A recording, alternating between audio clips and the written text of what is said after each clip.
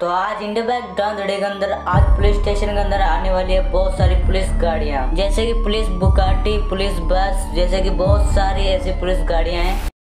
तो आज पुलिस वालों ने मुझे बहुत ही अर्जेंट अपने पुलिस स्टेशन के अंदर बुलाया है और मुझे भी नहीं पता है कि मुझे किस लिए बुलाया है। वो तो मुझे पुलिस वालों को पूछ के पता चलेगा। तो चलो हम लोग देखते हैं भाई किस लिए बुलाया मुझे। वैसे तो सर अंदर ही बैठे हैं तो अंदर जाके मुझे बात करनी होगी। हाँ तो सर आपने इतना अर्जेंट सुबह सुबह क्यों बुलाया मुझे? अरे फ्रैंकलिन हमारे पुलिस स्टेशन के अंदर अभी एक भी गाड़ी नहीं है। अरे कौन सी गाड़ी नहीं है आपके पास में? अरे हमारी पुलिस स्टेशन की गाड़ियाँ जो की एक भी नहीं है पता नहीं कहाँ पर गई है। मेरा मतलब की हमारी गाड़ियों को पता नहीं कौन ले गया है। और अभी फ्रैंकलिन हमें पता नहीं है कि हमारी गाड़ियों को किसने चोरी की है। अरे सर पुलिस तो आपको मगर आपको तो चोर को पकड़ना चाहिए ना। अरे फ्रैंकलिन यार हमें गाड़ी चाहिए यार। हमारे पास में गाड़ी नहीं है कोई भी चोरी नहीं हुई हमारे। तो सर पहले सीधे सीधे बोल देना चाहिए था ना कि हमें गाड़ी चाहिए। फालतू में इतना टाइम वेस्ट कर दिया तो चलो यार इनके लिए हम लोग गाड़ी लेके आते हैं। पहले तो मैंने इनके लिए एक पुलिस स्टेशन बनाया था अभी पता नहीं इनके लिए मैं गाड़ी भी लेके आऊँ। और मैंने पहले भी एक पुलिस स्टेशन बनाया था उसके अंदर मैंने दो तीन गाड़ियाँ तो मैंने इनको दी थी मगर इन लोगों की गाड़ियाँ जा कहाँ सकती है। लेकिन इन लोगों ने तो बोला था कि हमारी गाड़ियाँ तो भाई चोरी नहीं हुई है मगर गई कहाँ पे? मुझे लगता है कि इन लोगों ने अपनी गाड़ियों को छुपा दिया है और इनकी गाड़ियों को मुझे ही ढूंढना होगा। और इन लोगों को लगता है कि मैं इनको नई गाड़ियाँ देने वाला हूँ। लगता है मैं इनको पागल दिखता हूँ। तो सबसे पहले मुझे इनकी भाई एक एक करके सभी की मुझे गाड़ियाँ ढूंढनी होगी। तो अभी मैं इस बुलेट को भी उस भाई साहब से मैं चुरा के लेके आ चुका हूँ। और ऐसी दिखने वाली एक और बुलेट है जो की उन पुलिस वालों के पास में थी जो की एकदम मॉडिफाइड बुलेट थी। तो अभी मैंने अपने दोस्त रवि के पास मैंने उसकी फ़ोटो भेज दी है उस बुलेट बाइक की। और अभी थोड़ी देर में मेरा दोस्त रवि जो है मुझे उस बुलेट बाइक की लोकेशन भेज देगा। तो फाइनली यार मुझे, मेरे दोस्त ने मुझे उस बुलेट बाइक की लोकेशन भेज दी है। चलो इसको हम लोग ढूंढ के निकालते हैं। तो अभी मुझे समझ में आ चुकी है कि वो पुलिस बाइक मुझे इस रेम के ऊपर मिलने वाली है। ये पुलिस वाले बहुत ज़्यादा चला गए यार, पता नहीं उस बाइक को वहाँ पर कैसे ले गए होंगे वो लोग। लेकिन इन लोगों को लगता है की फ्रागलिन तो पागल है, मगर ऐसा नहीं है, क्योंकि आज उनको पता चलने वाला है कि फ्रागलिन उनसे कितना ज़्यादा तेज है। मतलब कि कितना बड़ा चलाक है। पता नहीं यार इन लोगों ने ऐसा क्यों किया है। खैर छोड़ो, हम तो अपना काम करते हैं, बाकी तो वो लोग अपना काम देखेंगे। और ये रास्ता भी खतरों के खिलाड़ी से कम नहीं है। हालाँकि मैंने बहुत सारे ऐसे चैलेंज किए हैं, मगर मुझे इतना डर नहीं लगता है। और इससे बहुत ही खतरनाक चैलेंज को मैंने इजिली पार किया था। तो अभी ये चैलेंज जो है, उससे तो थोड़ा सा इजी है। यहाँ तक तो इजी है, मगर आगे की तरफ़ पता नहीं कि भाई रास्ता बहुत ही खतरनाक आ सकता है। जो कि गैस आप लोग दे सकते हो। भाई इतना पतला रास्ता है, इसको भी मैंने भाई आसानी से पार कर दिया। तो आगे की तरफ़ इतना बड़ा एक फ़ैन आ चुका है, जिसको भाई मुझे पार करना मुझे लगता है बहुत मुश्किल है, मगर मैंने भाई बहुत ही आसानी से इसको भी मैंने पार कर लिया है। वैसे यार मुझे लगा था यार मेरे से नहीं होगा, मगर मैंने कर लिया। चलो छोड़ो, आगे की तरफ़ तो यार अब थोड़ा आसान रास्ता आ रहा है, जिसको मैं आसानी से पार करके आराम से निकल सकता हूँ। तो अभी मैं बहुत ही आगे आ चुका हूँ, अबे अबे, नीचे नहीं गिर जाऊँ यार। अरे अरे अरे,